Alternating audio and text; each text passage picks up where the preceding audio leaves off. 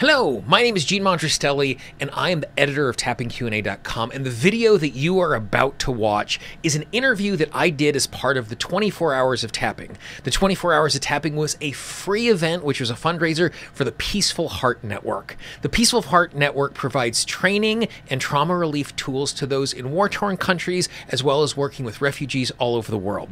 They've been able to help out over 200,000 people all over the world. After you watch this video, if you find this video something that was useful, the very easy way that you can say thank you to the guest for giving their time and sharing their expertise is to go to 24hoursoftapping.com slash support and make a small contribution to support the Peaceful Heart Network. Again, that is 24hoursoftapping.com slash support, and I hope you enjoy this conversation.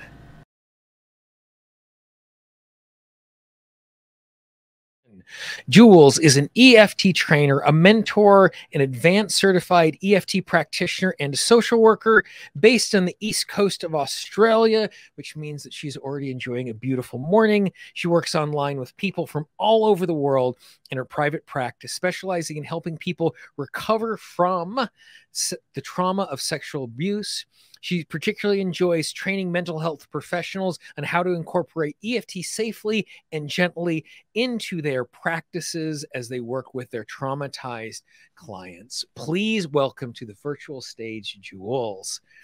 Hello. Hi, how are you? I am good. How are you doing this morning on the other side of the world? I'm good. It's a beautiful day here in Coffs Harbour. Excellent. I've been up early listening to you guys.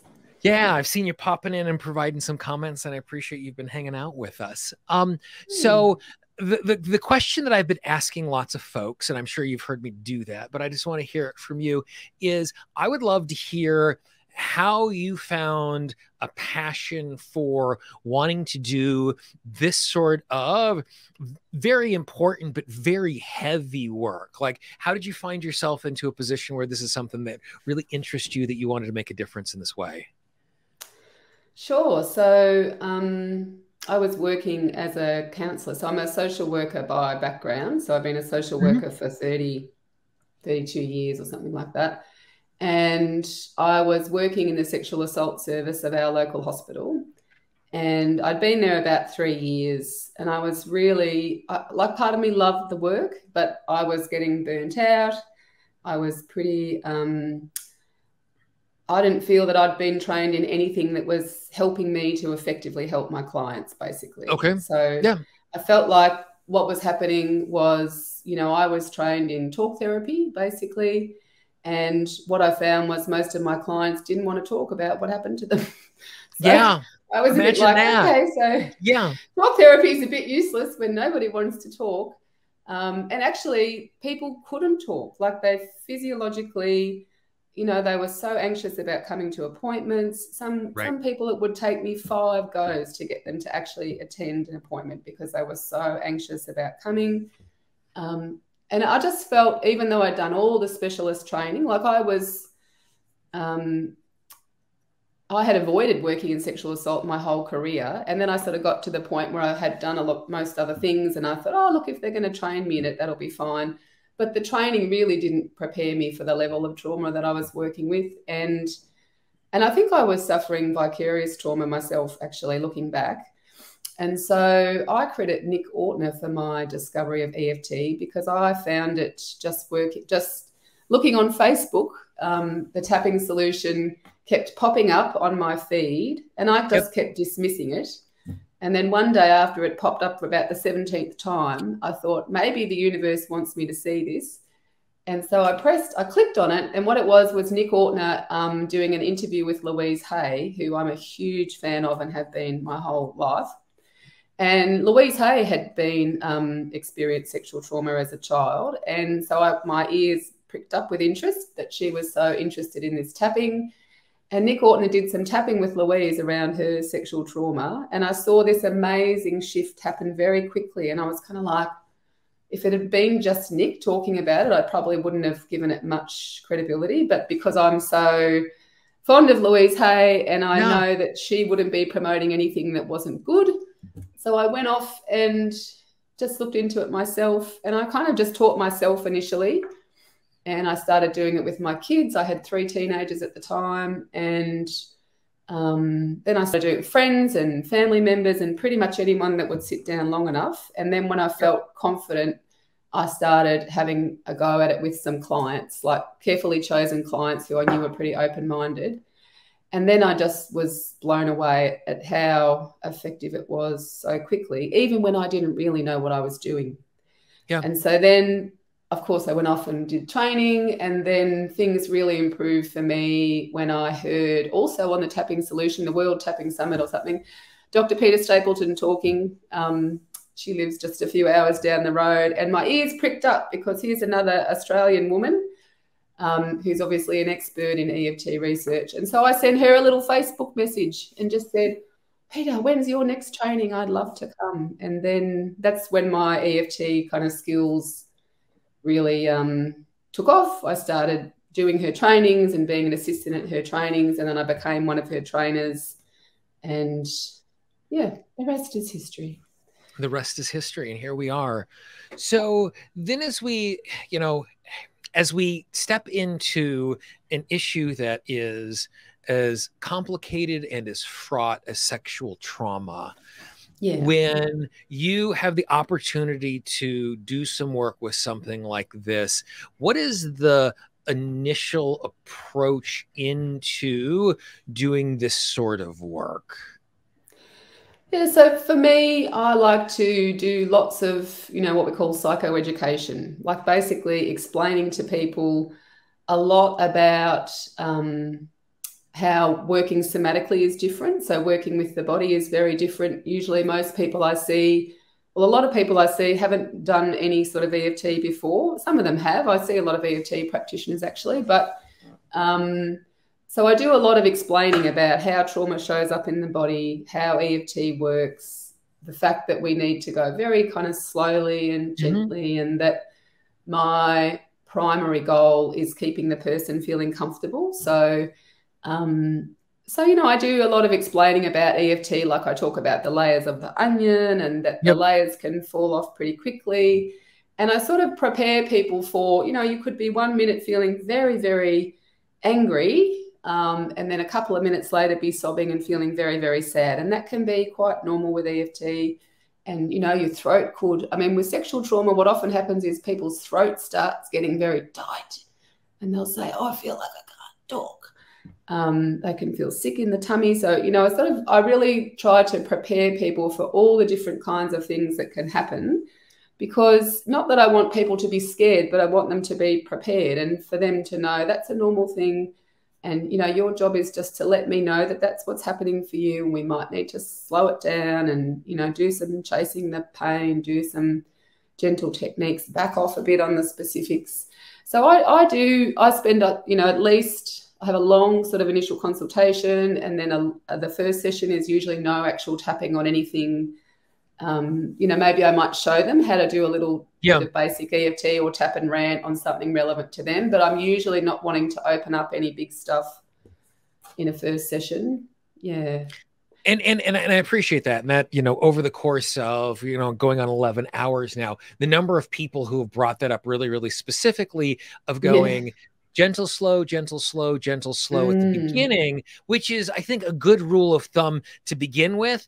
Um, but in, in this particular case, I could see that being something that's even significantly more important to do as a way of yeah. keeping people safe as they're navigating all of that. Yeah, because you know, for most people who've experienced sexual trauma, the, there's there is a lot of you know the big emotions that are really common are things like shame, embarrassment, um, guilt. You know, often they're blaming themselves. There can mm-hmm. be a mm-hmm. lot of anger, sadness. You know, worthlessness, but even just the the anxiety about even thinking about talking about it. Like that's often kind of the yeah. first layer that has to be addressed. Um, so when I sort of explain to people that you know we want um, my aim is for you to become as comfortable as possible. So it's I don't want the session to look like this, you know, with lots yeah. of lots of intensity that we're just going to start on something um, that's quite re- quite recent um, and we and that and i basically i sort of explained to people i'm having a conversation with your nervous system here uh, we really need to um, befriend your nervous system. We want yeah. your nervous system to feel like this is going to be an okay thing to do, that I know what I'm doing, that I'm not going to, you know, let your body or your nervous system go anywhere that it doesn't want to go. Um, yeah, and that that the goal at all times is to keep the person feeling safe and comfortable. Because if, if a person's feeling very dysregulated, like if your throat yep. is closing over, people yeah. feel like that's my body saying, "Don't talk about this. Don't talk." Yeah, and, and I can certainly see with an issue like this, just because, like, you know, as as culturally we are getting better but culturally we are not good at yeah. talking about and taking care of people who have experienced sexual trauma that right. you know in, in, so many circumstances still today when a person raises their hand to acknowledge this is the thing that's happened to them they are the mm. one who is stigmatized about doing about it being in this particular situation and yeah. blaming a victim and that sort of stuff and so i can yeah. i can see how it's necessary necessary to just creep up on it so gently because it doesn't yeah. feel safe even with a trusted person who has a kind face, who is well formed, yeah. who is well trained, who only wants what's best for them. Still, yeah. I'm sure there's a part of their internal guidance system that's trying to keep them safe, saying, don't say it, don't say it, don't say it, don't say it. And being able yeah. to just initially be gentle with that thing and start with where they are. Yeah. And the thing is that, you know, a lot of people that I see have been help seeking for decades. Mm-hmm. You know, they, they can have had 20 or 30 years of talk therapy on and off that hasn't worked, or kinesiology, or, you know, often they've tried all different kinds of modalities. They've tried medications, they've tried, um, you know, you name it, they've tried it. So they're, they're pretty frustrated often. They're pretty, you know, they've, um, it's not it's not like I'm the first person that they've talked to about this. Mm-hmm. And right. so and and the thing is that if they have done talk therapy in the past, either their experience is that it, it had, wasn't very effective, like it didn't really help me. It brought a whole lot of stuff up that right. I just had to go home and deal with. But I don't, I don't feel like I'm really any better from that. Or, you know, that helped me to understand that, yes, I was a child when that happened. And so I shouldn't blame myself and I shouldn't feel guilty and I shouldn't um, be angry at myself. So I, have had all this education that intellectually I know yeah. I shouldn't feel this about this, but because we know trauma lives in the body, right? So intellectually doesn't matter that much.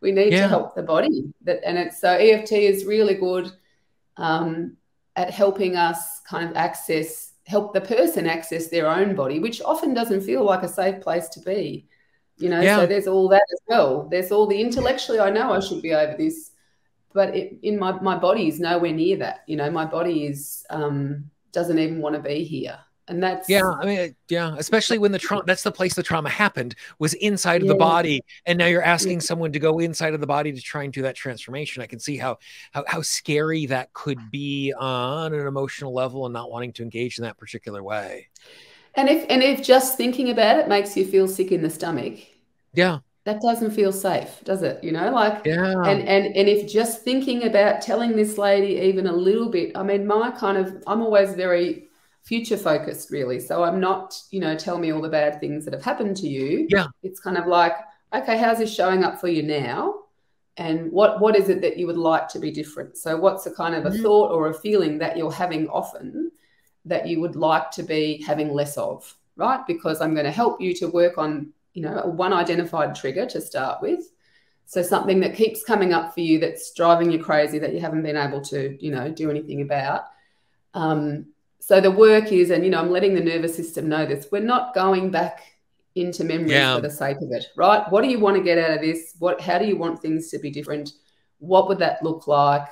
Um, yeah and sort of so we're working in this direction we're not going you know it's not not to say that we're not going to do past events yeah. but you know for a lot of people who've experienced sexual trauma the thought of actually going back and focusing specifically on actual events can be just like it's it, no deal. Yeah, and, and, and as you say that, like I fortunately have never had that sort of experience, and I can remember yeah. very early on as I was learning tapping 15, 18 years ago, like one yeah. of the things was like do the personal peace procedure where you write down all the traumatic events and you go and you clear through it, and I would I can still see this yellow notebook in my head. It was a yellow spiral bound notebook, and I yeah. would just look at the notebook and I would get sick to my stomach, and like, yeah. like not even opening it, just knowing, oh my gosh, all that horrible stuff is in there, and it really it really formed me into being what I call as, as a practicalist in my approach. And it's about like that forward thinking that you're talking about.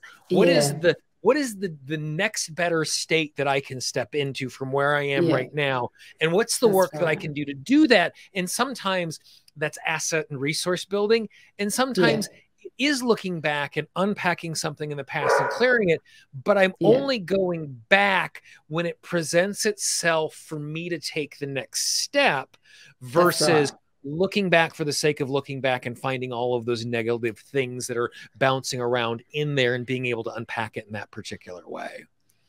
Yeah, that's right. And and and that just that just sort of, you know, there's a bit of relief that okay, so because memories will obviously come up and it's not to say that, you know, obviously we're going to follow the daisy chain when it feels safe, when it feels appropriate, um, if the person wants to. I mean, I have, you know, clients that I have no idea what happened to them. And I, and because they've never wanted to actually talk about it, but boy, has it set up a lot of uh, trap survival stress in their body. But we've we've never done any work on the actual event. You know, it's often right. all the things that happen afterwards. Like I told mum and she didn't believe me. Right. Or she minimized it and said, "Oh, that's boys being boys," or you know, well, you should have you shouldn't have been right. drinking, or you shouldn't have gone home with that person, or you know, basically, it's your fault. Right. Um. So you know, it's often what we're tapping on is more about that. You know, the sort of the trauma after the trauma um, yeah. A bad, scary thing happened to me, and then I didn't have any support. You know, I wasn't believed, I wasn't protected, or um, you know, and then the sort of the the limiting beliefs that get formed in the midst of those traumas. You know, I don't matter, I'm worthless, I'm not good enough, yeah. speaking up isn't safe, my body's not a safe place. You know, yeah. all those, all of those things. Yeah, and, and and as you say that, I think about you know in in in parts of the the, the Middle East where unfortunately they experience explosions on the street in a, in a pretty regular yeah. thing. One of the things that they have learned is after that happens for the people who are injured is to flood their hospital room with the people that they know, their friends, yeah. their family, the guy who runs a coffee shop down the street. So we're yeah, right. creating this thing that it's not isolating, even though this bad yes. thing happened.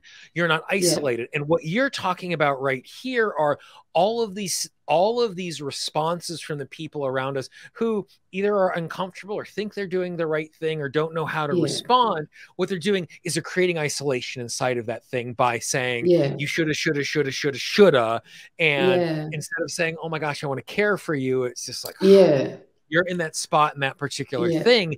And so that becomes this huge compounding factor when the extreme unexpected thing shows up the yeah. isolating piece of it is then becomes that multiplier that really knits yeah. it into our experience. Absolutely. Yeah. So when it comes to responding to sexual trauma is there is there anything different in the approach uh, we've we've glanced off a number of the things yeah. here about dispositionally an approach that I, I, think are really good for us in this particular setting and are applicable mm. lots of other places, forward thinking, that sort of stuff. Are there yeah. any specific things that someone should pay attention to when thinking about this particular issue? Yeah, so I think that um, you know, this. I mean, this is these are sort of generalizations, but I have worked with you know thousands of people over the years with yeah. this experience. So it's, you know, I can, I'm allowed to make some generalizations, I think. I mean, things like the, the balancing statement, you know, so I don't meet many people that want to say, even I, I deeply and completely accept myself, let alone yeah. I love and accept myself. You know, yeah. sometimes, so it's really important to find um, a balancing statement that works for each person. Because if you if you know you say and i love and accept myself they would just look at you know people would just look at you like what on earth is this woman on? Like i do not yeah. love myself. I do not accept myself. And quite often the one i offer is just you know that's just where i'm at at the moment right? Yeah. so even though i'm terrified just thinking about my daughter going to this school camp because i'm scared that's it's going to happen to her and I feel sick in my stomach just thinking about it or whatever the words are, that's just where I'm at at the moment. So that that thing about self acceptance is huge. Um, yeah, and, and and, and, and for me, like I, I, wandered away from that particular setup phrase very early on because yeah. I was ta- I, I was I was tapping on someone who had a knee issue and I said, right. even though I have this knee issue, I love and accept myself. And then we spent the next 30 minutes unpacking the sense of self-acceptance and never ever got to the knee. And like, like I am, I am all for tapping on love and acceptance when love and acceptance is the thing I need to be tapping on. Yeah. But I, I, think I think it's really, really key that you're noticing yeah. here where the person is standing and and yeah. what they're doing. The conversation we had a number of hours ago with Craig Weiner about this trauma-informed approach. That's what you're talking about here is recognizing where standing in that just because it is a useful phrase for us to be using it's not useful mm. for where that particular person is standing at the moment and being super aware of that's useful for us yeah and the other thing that i think is really important is um, you know i'm really clear with my clients that you will only hear me say words that you have said right so mm. i'm not adding my own flavor there's almost you know there's no intuition going on in my sessions as in obviously i'm very intuitive actually but right. i'm not trying to guess how i think the person might be thinking or feeling. It's basically we do a lot of um, you know okay so this this is the emotion anger what is it out of 10 what's it about now? Okay so it's because thinking about when i told mum what happened to me she said you little liar and I feel yeah. this anger in my chest, right? So I'm very kind of like it's like a little collaborative exercise. These yep. are the words, are they? Right. And then yep. I'm not saying anything that hasn't been said because what you find working in this space, um, if you say a word that is not quite right, it's like yeah. a little, it's, well, it's like a big landmine's gone off in the nervous system. Yeah. Um, it breaks rapport, you know. So, so I could say, and mum's just a bitch, you know. But yeah. if that person didn't say that, they they will be like, whoa, yeah. you I didn't say that. You know what I mean? So the and the other thing to be aware of is um, you know, so people will give you a lot of words. And so, you know, as a trainer, I sort of tell my mentees, like, so yes, use your clients' words, but not all of them, right? So you've right. got to be able to kind of pick if, if you're putting in too many specifics when they're at a 10 out of 10, then that's, right. that could be um, lead to more dysregulation, lead to them flooding, lead to them abreacting. So the person might, you know, because of the kind of trauma pool, they're, they're giving you lots of information about all the reasons why they feel really angry about that now. Um, but that doesn't mean you're going to put all of that in the setup statement because yeah. you, you, can see they're very activated, they're very worked up, and it's like, oh, okay, let's just be very deliberately global here. And even yeah. though I'm just, I'm so angry just thinking about this now, I'm so angry. That's just where I'm at at the moment. So we're, you know, we're starting out often quite global because there's a lot of intensity, and then we're creeping in, we're creeping in, and then oh, boom, next thing we're into just I'm so sad. You know, I'm yeah. sad that that happened to me. That and then people will often what happens is people go like all the sadness. It ruined my life. You know, if that yeah. didn't happen to me, maybe I wouldn't have ended up on heroin. Maybe I wouldn't have been smoking marijuana for the last 30 years. Maybe I wouldn't have married that terrible person. Like they start they start yeah. going, oh, all the terrible things and then we've got to kind of just bring them back to okay yep that's what the brain does. And so i've done a lot of pre-framing with people that that's the way this works. Yeah. Um, and and that's yep we're going to listen to that but i'm not listening to that for 10 minutes. Let's come back to this. Um, yeah so it's that balance of kind of psychoeducation around this is the way i work. It's about keeping you safe. It's about keeping you as regulated as possible because um, we don't achieve much with a dysregulated human. Like I tell my mentees, you know, you can zoom in and get it, get starting getting specific when you've got a regulated human in front of you. But if yeah. and we're actually not trained even as mental health professionals, in my opinion, uh, to even necessarily know what dysregulation looks like. Because yeah. we're so used to seeing it. People come and they just tell you all the worst things that ever happened to them, like you say with the, the personal peace procedure. Yeah and and our clients are so sort of you know before EFT um, just so routinely dysregulated at a very high level that I was used to seeing that, you know. So it's it's been doing EFT that's really helped me notice the little micro changes in the, you know, the what's happening in the eyes and the voice and the posture and the face and the all of the rest. So oh, someone just said, "Wow, this is hard to watch and stay present." I meant to say a little trigger warning. Yeah, I, that when I'm talking about stuff, it, it can really bring stuff yeah, up absolutely. for people. Yeah, and, yeah and one of the one of the things I really appreciate about what you were just sharing right there is this idea of the the the the the, the pre-framing that you're doing that yeah. typically even if someone is coming to us distressed mm-hmm. they are more well resourced before we start diving in and going into the details yeah. and that sort of stuff. And so they're going to have the opportunity to hear that so that once you once the brain is acting the way that you pre-framed it, you're able to go, this is what we were talking about 30 minutes ago. This is what we talked about a couple of weeks ago. So what you're doing yeah. is by pre-framing it in a state where they're able to hear it and absorb it when we're mm. in the emotion of being dysregulated it puts us yeah. in a circumstance where we get the opportunity to go okay i'm just reminding you of the i'm not trying to convey new information to you which is going to be mm. an impossibility like you said in that unregulated yeah. state but yeah. hopefully I'll be able to point to that information I gave to you in a regulated state. And yeah. it's it's interesting as time pass, passes as a practitioner like yeah. the links and the number of things that i pre-frame just yes. keep, like the library keeps getting bigger and bigger and every single one of them exists because of stepping into a pothole going oh yeah That's i right. could have taken right. i could have taken care of this with a little information up front yeah. that would have made this moment significantly more manageable for me in that particular way that's right and actually um if I can just introduce a little thing that I do to a little analogy yes, I use to help um, explain to clients, and I also help explain it to people I'm training about. Um, and it's kind of just lightens it up a little bit, right? Because it, it is a heavy topic. Um, so I call it the banana bread analogy. And I just developed this when I was working at the sexual assault service because I used to talk about the tabletop and the legs, you know, being mm-hmm. the core issue and the legs being the, um, you know, the times when that happened, etc. And people would just kind of look at me like, oh my God, I've, I've got so many tables and I've got tables on tables. And is, am I going to have to table on tables and there's 800 legs under each of them? Like I can remember, I can remember one of Gary's yeah. old drawings where there were literally was like 800 legs under this one table. It's like, oh my God, I don't want to deal with that.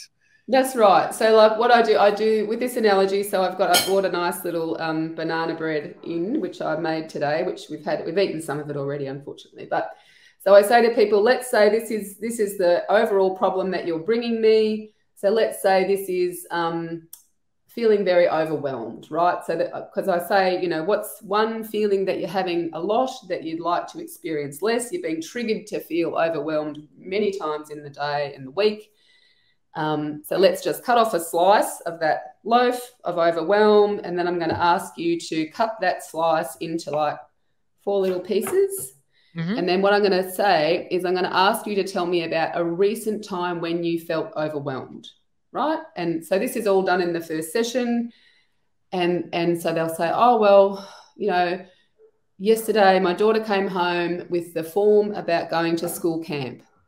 And I just thought, I can't let her go because mm-hmm. something bad will happen to her. I don't want to let her go. Um, I'm not going to sleep if she goes. She's not going to be safe. Boom, boom, boom, boom, boom, becoming very overwhelmed, very overwhelmed. And so that's will be the first thing that we're tapping on as something that just happened yesterday because it's mm-hmm. nice and kind of safe. Yep. Or it might be that we tap on. So we probably would do that first, you know, even though I'm feeling overwhelmed. Oh, just thinking about, you know, she's come home with this permission form to go to school camp. And I just, I'm terrified to let her go because I'm afraid something's going to happen to her. And this would be a regulated person would get all these words out if they were dysregulated. That, yeah. Um, and that's just where I'm at at the moment, you know, and I'm feeling it in my stomach or whatever, overwhelmed, overwhelmed, overwhelmed. So we might tap on that little piece of banana bread until it's nice and low. Yep. And then it might be, and this mightn't be in one session, this might be over a few sessions. Maybe the goal is I want my daughter to be able to go to school camp. I mm-hmm. want to feel safe about letting her go on a school camp because that's a normal thing that children do. And I don't want my sexual abuse history to affect the way I'm parenting my children and to be passing on to them that the world isn't right. safe because I've had that my whole life and it's not very nice, you know. So there could be a lot of work in that, you know, but it's but so then this is a future pacing EFT thing. Okay, so just thinking about, you know, signing the permission form to say she can go, what comes up for you? oh, I'm anxious, you know. I don't want to go. I don't want her to go. I want to keep her home safe with me. Um, and so then we would tap that down. So I'm kind of explaining to them that um, even though we're doing very recent events or, or things that even haven't happened in the because they're in the future, so there's no trauma in this because it hasn't happened yet, right? Yep. Um, but by focusing on that, what seems like a little thing, that the mind and the body is so intelligent that it knows that we're working on all these, you know, uh, neural pathways that have developed from trauma around the world isn't safe. You know, if I'm not watching her every minute, something bad could happen. Um, and that it's because of what happened to her when she was around this age. So, um, so we're asking, you know, the body, where are you feeling that? We're asking the, the conscious person, what are your thoughts about that? We're asking the unconscious. Um, and so we're kind of bringing all these parts of the self together and tapping on all the different aspects and that and basically by doing that we help the person to achieve their what might have been their goal which mm-hmm. which might just be something like i want to let my kid go on school camp i mean that might seem yeah. like a small thing but actually not a small thing at all for a person who has a, a, an experience of childhood sexual abuse and and the thing that I really love about that is, and this is something that's been forming in me as I continue to do work, is yeah. recognizing that the goal is better. The goal is not total transformation. And oftentimes, yeah. being able to add one small thing that I wasn't doing before dramatically impacts the nature of my life. And I was actually originally introduced to this in in, in pain management. And I learned this from, yeah. Dan Dan Cleary. And Dan Dan's a hypnotist. And then when people would come to him as a hypnotist, they typically here in the United States spent seven years in trying to do other things that was not useful. And they'd sit down across from him and um, he would say, How would you feel if after 90 minutes of hypnosis you'd be pain free? And they're like, That would be great. And he's like, Forget it. It's not going to happen. He goes, but tell me how yeah. your life would be better if half the pain went away. Tell me how your life would be better if 25% of the pain went away. Tell me how your life would be better if 10% of the pain went away. And yeah. if it's a back issue, maybe I can now sit down for two hours, which means I can go to a movie or I can go to dinner with yeah. loved ones. It's like, yes, we can do that. And so what that is is it's about improving the quality of life. It's not clearing the issue that is at hand. And so what you're talking yeah. about here is by creating the sense of safety that I'm now allowing my children to do something that I wasn't before. Their lives are better, our family lives are better. That means I'm heading in the exact right direction. And then we find yeah. the next future pacing thing where we're able to go, oh, wouldn't it be awesome if I wasn't controlled by this so we could, or I'm allowing someone to? And it just becomes this gentle, easier way of stepping into it. Yeah, and it's ultimately what people are looking for is, you know, like you ask these people, what do you want? What's important to you now? I don't want to uh, pass my trauma on to my children. You know what I mean? I right. don't want my children to suffer the way I have. Um, and so that is is about, you know, me being able to deal with my own stuff so that mm-hmm. I can just be present for them. You know, like I one woman I've been working with who has a horrific sexual trauma history her goal is about being present for her children. Mm-hmm. You know, and so we've we've started with, well, tell me a time when you didn't feel like you were very present. You know, because yeah, when you have a lot of trauma, it can make you snappy. You know, it being anxious all the time can make people just feel exhausted. You know, they they can be pretty pretty yeah prickly, as I say. And so they, they know this isn't good. You know, I don't want this for my children. I don't want this in my family. I don't want trauma to be impacting the way that I'm parenting. So often people come to me because you know they might have worked with other practitioners and maybe the, and and you know often they did do some memory work that left them feeling absolutely shot in their nervous system exhausted unable to function for a day or two you know, so it's not, um, you know, I often say to my mentees, just because you can doesn't mean you should. Just because yes. the hippocampus gives you a memory in a session doesn't mean you go back and work on that memory. You know what I mean? It's yeah. not always because in this niche in particular, um, sometimes it's just too much for the nervous system. You know, I'm very, very aware of not blowing up a person's nervous system. And because I've seen it happen, you know, like I've done it myself. Yeah. I've, I've, it's happened to me um, because it's hard, you know, sometimes it's just hard to avoid because you don't know. People can look like they're very calm and right. say, these are the things I want to work on. And then whilst you're tapping, as everybody knows, oh, now I'm thinking about the time when such and such, you know, dropped me off at the front of my house, and then his hand was there, and I, right, and I just froze, and I didn't do anything, and I didn't say anything, and and you're like, oh, how do we get there from there? But it's all, you know, it's pretty unavoidable basically when you're doing EFT because you are tapping right. into the unconscious, and the hippocampus will give you these memories. So you, right, we need to know. Um, you know how to deal with things in a way that feels safe and manageable for the nervous system yeah, and one one of the things that that I have gotten have worked really hard at, and hopefully I do well, is this idea of re-raveling someone. That sometimes we get unraveled, but, but making yeah. sure that we're like putting someone back together in a way that is safe to move forward. And yeah. in, in some of the stuff that you're talking about here, like when we bump into something that is big that probably isn't appropriate for us to do that, like yeah, it's amazing how much calming you can do and how much planning and strategy you could do by just tapping your collarbone, take a nice big deep breath for me. Yeah. You know, so we're acknowledging what's happened, but we're not diving in. We're not going after mm. it. We're mm. tapping, we're giving them a chance to downregulate it. And yeah. for me, it's also giving me three and a half seconds to figure out what my plan is and the step that I'm going to take next. Because I'm navigating. Right. The tapping's for us as well, isn't it, as practitioners? It's, it's, amazing. It's amazing the amount of thinking that I can do in the length of a deep breath. And if I don't have enough time in one deep breath, I'm going to have you take a second one because we've yeah. been doing those things as we've been navigating it. Yeah. So, so what else? Is there anything else that? Because I think you've been doing just such a, a lovely job of laying out how specific this particular type of trauma is and mm. because of that specificity how we have to approach in such a way so we can keep people as close to being emotionally regulated or we can, can keep stepping back to it yeah. like i love this thoughtful deliberate stuff is there anything else that we should be considering as we're thinking about this sort of issue look i think that there's you know i just sort of teach my mentees like it's a bit like you know you're driving around a, a, a big mountain or something and there's ice on the road you know like a person's doing EFT with you is like getting on a bus with you and you need to be a safe driver right so you need mm-hmm. to know when to put the brakes on like what whoa this person's getting very things are getting very intense let's back off a bit we need to like put the brakes on so it, it's you know like so in my sessions, there's a lot of just let's just stop and just let's do some silent yeah. tapping, right? So let's just let that big wave of emotion come in. Let the tears let the tears come. They're appropriate, right? So, um, so I just let people know in the beginning when I'm showing them where the points are. If you start getting a bit teary, we're just going to do some silent tapping, or I will model orienting tapping to them and I send them little YouTube videos on this is what orienting tapping looks like, this is what silent tapping looks like.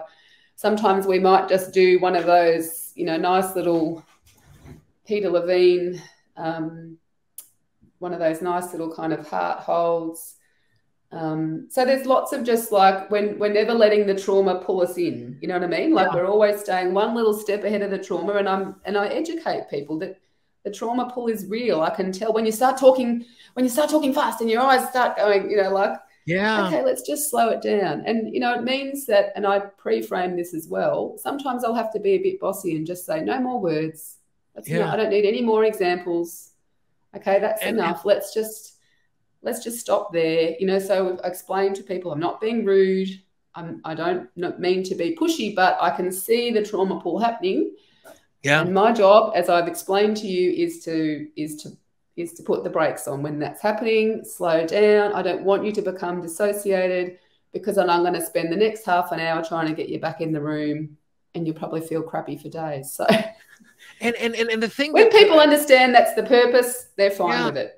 Yeah, and, and what I what I what I am what I'm hearing that I love is, and I don't know if you say it in this particular way, but this is the way that I'm translating it in my brain is yeah. your job is not to help them to heal this thing. Your job is to help them to be regulated in this moment. And if you just yeah. keep helping them be regulated in this moment, we're going to be presented with those things and we're going to clear it. And so it's yeah. like how do we be in this moment healthy? How do we be in this moment healthy? How do we be in this moment healthy? Mm. And that's dispositionally is so like counter to the we're going to solve this problem with transformation. Like and and there's yeah, I've never used the word transformation. Actually, yeah. I, I don't because you know pe- people who have been experienced this kind of trauma often it has affected their whole life in a big way and they feel like I, I can't even do EFT properly, right? Like I yeah. had a psychologist say to me, I couldn't, like you, I couldn't even start my personal peace procedure because I know what's in there. And so she yeah. put off starting certification because she felt stupid because she couldn't even start her personal peace procedure. Like, yeah, you know, so that's it's real. Um, and so we need to be just upfront and realistic with people. I, you know, like I had a woman, I think it was her 19th session the other day, and it was probably the first session where I felt like we we had a, we had regulation pretty well for right. most of the session, right? And she didn't have such a bad headache that she and that you know that took a lot of work for for her. And a lot of me being very careful and concentrating and being as gentle as I know how to be. So I do not talk about one minute wonders and transformation yeah. because that makes people who've experienced a lot of trauma feel kind of inadequate. They feel like they've already failed at therapy Yep. Because they've done all these other things and they're still not better. And EFT is meant to be this amazing, fast thing. Yeah. And yet they've had this many packages with this person and this many sessions with that person, and they still don't feel better. So, yeah, it's a big responsibility. Um, yeah.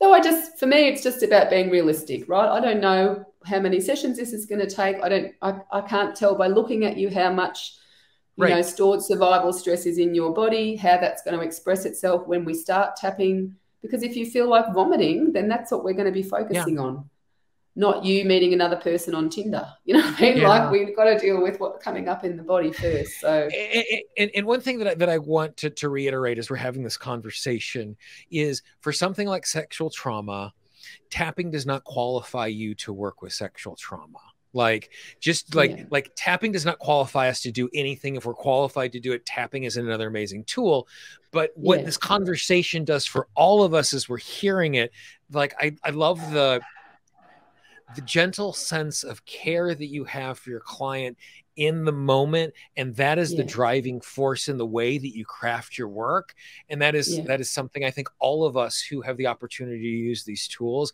like i think that like that's a super valuable lesson for us to hear even if we're not yeah. in a circumstance where we're tapping on this particular issue like it's such a yeah such a healthier approach as someone who's being a health helper that is yeah. it's a good thing for me to hear as we're having these conversations. Yeah yeah. Awesome. Yeah it's good. And honestly it just you know from being pretty burnt out and thinking i don't want to leave this job but it's kind of killing me just watching people suffer um, from yeah. that to loving my work and really looking forward to seeing every client come back and hearing how they had their first night's sleep in 10 years. Yeah. And, you know, they're able to go to the supermarket now and they're able to sit and play with their child because they're not having flashbacks or, you know, like to see the change happen in people. Um, really, if you're a mental health professional and you're a bit burnt out, this can really yeah. transform how you feel about your work, you know, because Absolutely. you know you're helping people more effectively. Yeah.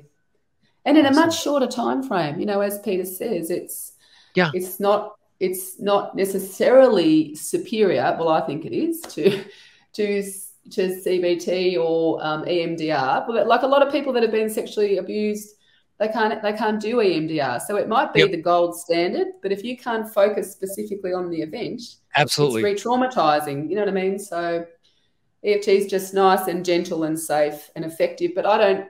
It's faster than a lot of things, but it doesn't mean it's you know. Yeah, it gets the job know, done and, in a lot less time, but it still yeah. takes a lot of commitment and absolutely. Yeah. And, and and the important thing is, you know, that I just always go back to, you know, happiness is outcome divided by expectation. And yeah. like I like I love the fact that you you know, like I love the fact as a community we're not talking about one session, one minute miracles the way we did 15 no. years ago, because it just no. doesn't create a healthy space for us to do transformation inside of. And so, yeah, that's awesome. We're talking about whole loaves. That's right. Absolutely. And therefore, lots of little pieces. lots of little pieces, one bite at a time. That's really, really awesome. Yeah. Well, Jules, thank you very, very much for spending some of your Sunday morning with us and, and sharing your experience oh, and expertise. That I just love the conversation we just had. Great. Thanks for having me. I'm really um, pleased that you were happy to include this topic. Thank you. So Absolutely. Much. My pleasure. Very, very good.